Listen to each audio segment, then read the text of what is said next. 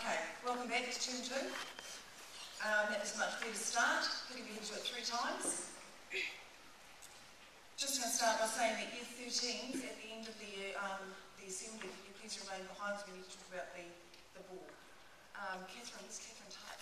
Do you need the year 12s to stay behind as well? Just It's all sorted? You do not need to remain behind after all. Okay.